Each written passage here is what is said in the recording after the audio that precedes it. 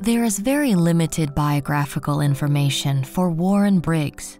His death at the young age of 36 did not provide him with an opportunity to fully develop his legacy as other artists of his time.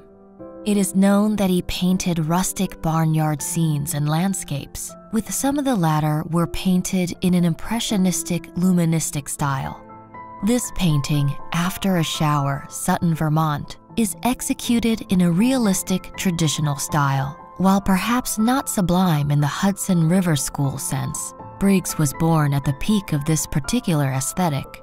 However, it exquisitely captures the wild beauty of Vermont Importantly, it illustrates Briggs's command of light, capturing a break in the dense, dark forest interior, allowing illumination of a bouldery mountain stream briskly flowing after a rainfall.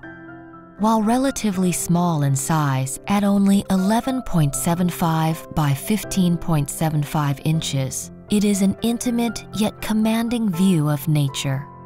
After a Shower, Sutton, Vermont evokes English art critic John Ruskin's Truth to Nature, an almost photographic view of the moss covered rocks and trees, almost glowing as the sun attempts to pierce the post rain gloom.